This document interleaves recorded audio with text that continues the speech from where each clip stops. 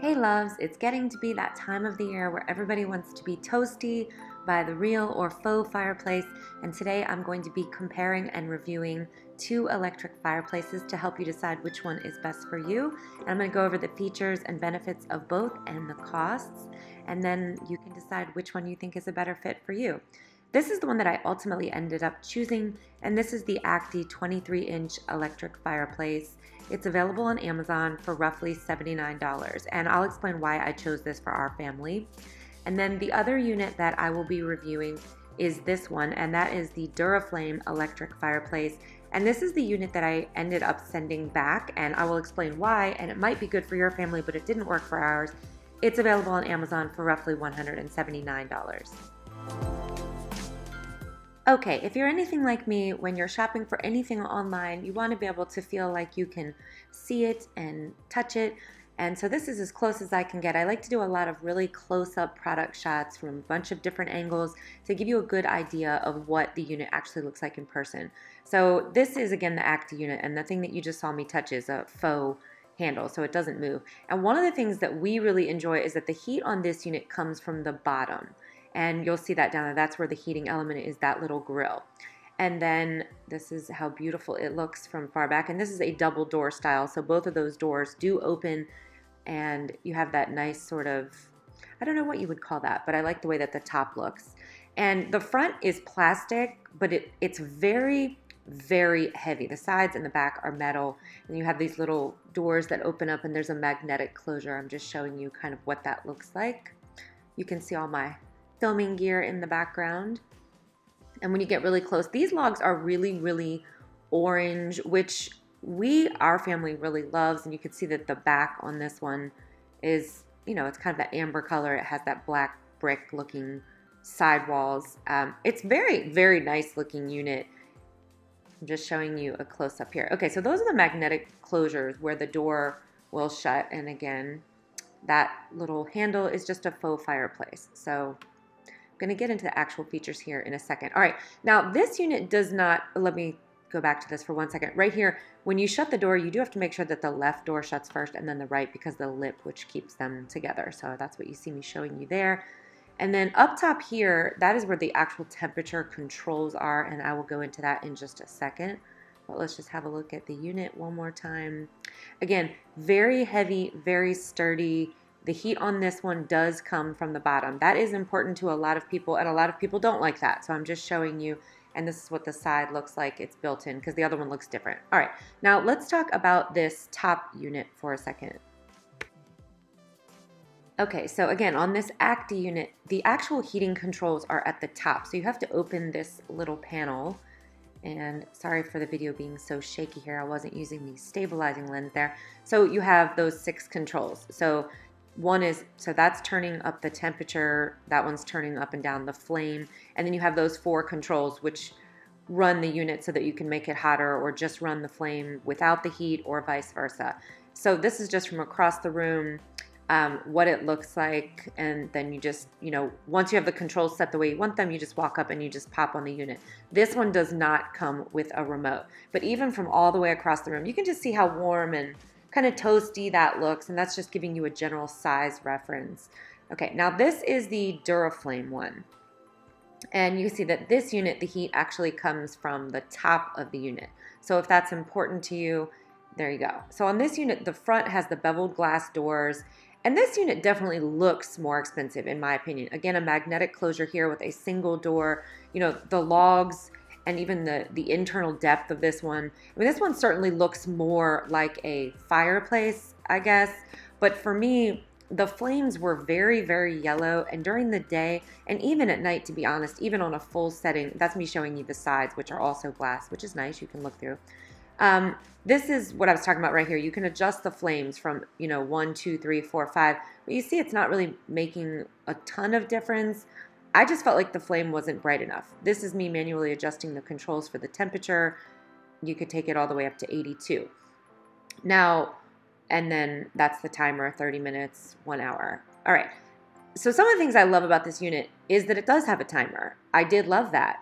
Um, but I'm not going to leave it running overnight anyway because I think that's a fire hazard. So for me, that wasn't really make or break. I did love the remote on this one, but the problem with the remote is that you can only turn it on and off. You can't adjust the heating controls. So I'm not sure that I really understand the user experience on that because if I can only turn it on and off and not up and down, then so what?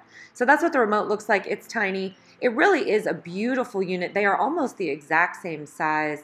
This one certainly looks more high end. Um, but I didn't love it. Now, one of the things that I am going to be using is this, the safer socket, because we did almost have a very bad electrical fire in our house a year ago um, when I'm not really sure what happened, but our other electric fireplace decided to go to heaven and, you know, tried to take it, tried to take us with it. So thank God I was sitting there and I pulled the socket from the wall.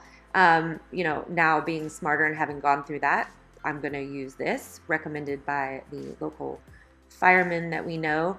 And so I'm just, you can see me in a box ninja fight here. I win. Okay, good for me. Um, actually, the package was really easy to open.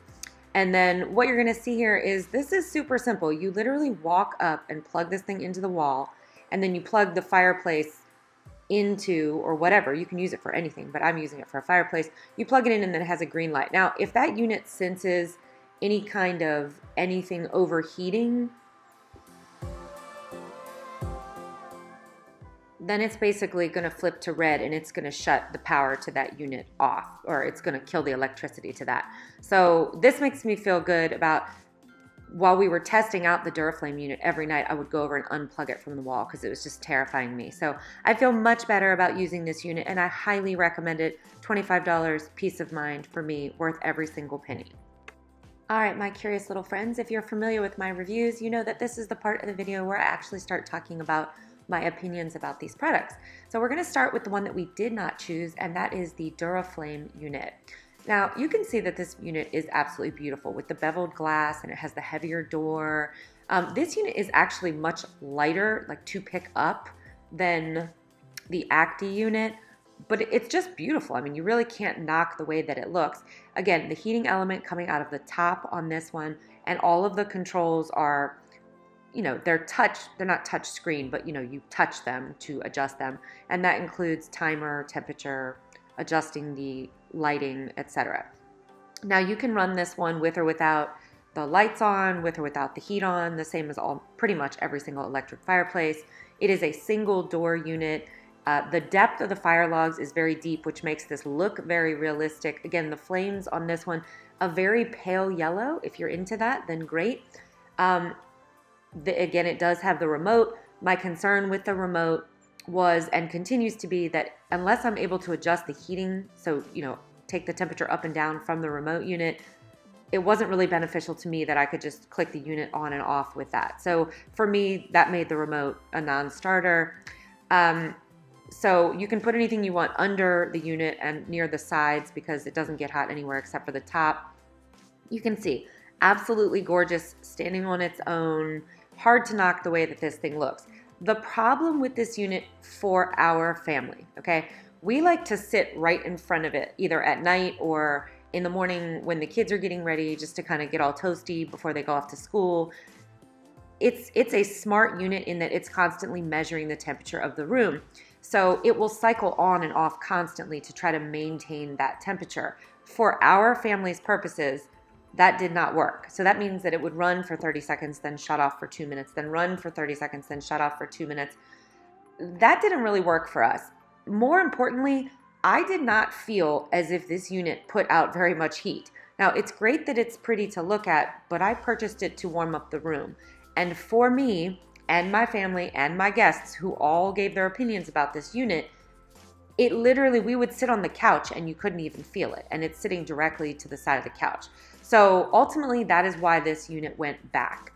I just, it wasn't hot enough for us. Now, if you're really just using it for ambiance purposes, it's gorgeous, and I would say choose this unit. These are the measurements. Um, all of that is available on the Amazon page, and of course, all of the information is included in links in the down bar below.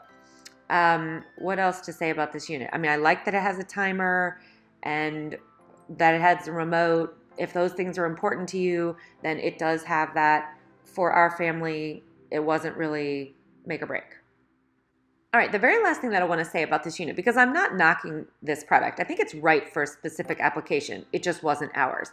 If you have it in a room where you're going to let it run for long periods of time and it's just going to cycle on and off, I think it was actually very good at maintaining a consistent room temperature. However, if you are wanting to snuggle up next to it or feel more actual heat coming directly off this unit, then you're want to go for the Akdy unit. So let's get into that one. Okay, let's look at this Akdy unit, which is the one that my family and I ultimately ended up choosing. This one is also very, very beautiful in a different way. I would say that the other one looks more modern, and this is sort of more of an old school, old world feel of that kind of cast iron looking, um, very, very hot burning fireplace. Again, this unit with the heat coming from the bottom and not from the top. These are the general measurements. They are almost exactly the same size. Again, the Duraflame unit is much lighter actually to pick up, not that that matters to anybody. Um, this unit, the Akdy one, was so substantial. I was very shocked when I took it out of the box at how heavy it is. But let's actually start talking about some of the other features. One of the things I really enjoy about this is that the heating control elements are separate from the on-off switch.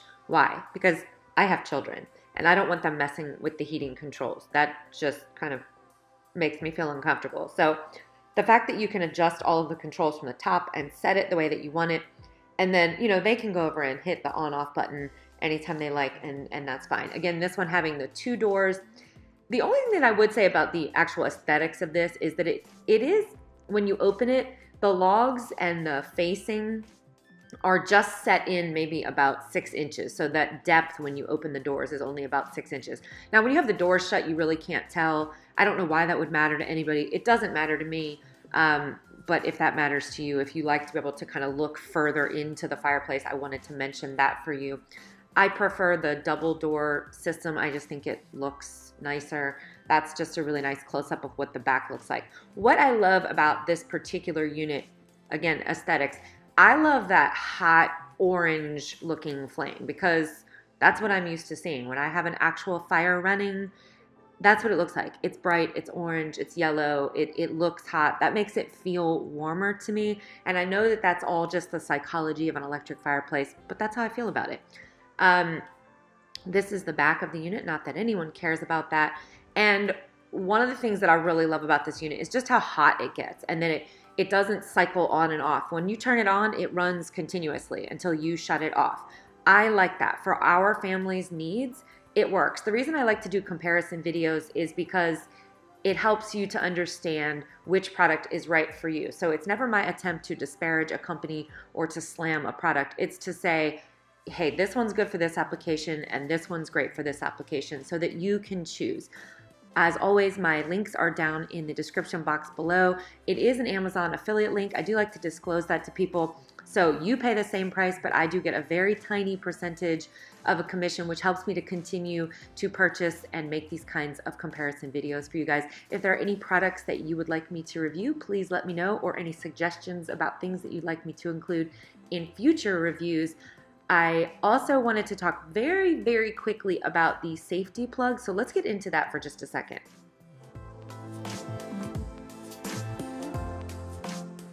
All right, what's to say about the safer socket? Would I recommend it? Yes. Would I give it as a gift? I'm already thinking about it. You know, it's about an inch in depth. It it's the right color. It looks about the same as all other sockets, so it's not like it sticks out in some obscene way. It's peace of mind if you've ever experienced or known anyone who's had a house fire, then you know that spending $25 for major appliances, which are pulling down major kinds of energy and heat specifically, this for me is worth every single penny. It literally could not have been easier. I mean, I sat there and tried to cut the box open, but I didn't realize that it had a breakaway casing, you know, the product packaging, which is excellent because anybody could open it and then you just plug it into the wall, you plug the device in. If it blows, you pull it out of the wall for 30 seconds to a minute, you plug it back in. I mean, easy peasy. Absolutely recommend this. Wish I had had one before. I didn't know that it existed, which is why it was very important for me to include it in this video. If you're using any kind of an electric fireplace, please use this kind of a device with your unit just for the safety of your family and so that you can enjoy being warm and snuggly and safe whenever you use this unit. That's it guys, we're done. This is just a side-by-side -side comparison. You can really see what I'm talking about, about the yellow versus orange type of flames. I hope that this was a very, very helpful comparison video so that you can choose the unit. Guys, go ahead and get them because they get more expensive as time goes on. It's already late August, so order yours today. As always, thank you for spending some time with me, and I will see you in the next video. Bye, guys!